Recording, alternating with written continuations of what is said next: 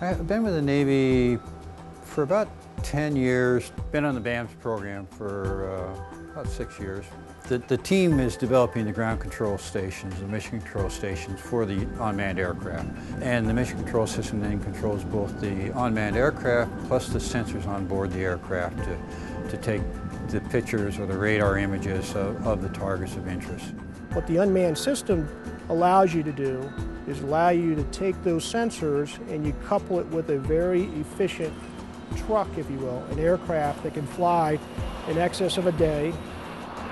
So we can very cost effectively have that persistent coverage of the maritime environment. I know when I joined BAMS five or six years ago, I, I didn't know what to expect. I was pretty excited about the opportunity to serve on the BAMS program. But within days of joining, you could just see this chemistry that existed. BAMS team is a fun group of people to be around, lots of uh, professionalism, very much dedicated to their work.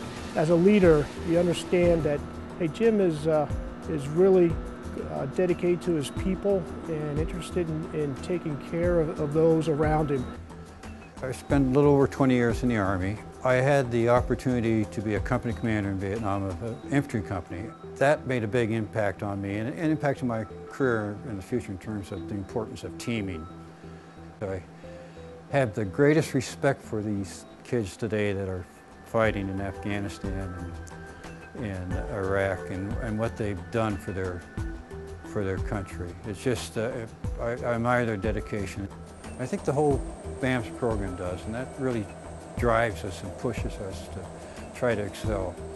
Jim's legacy from both Vietnam and his legacy in the BAMS program, continuing to allow warfighters to conduct their missions, do that safely, and bring everyone home safely.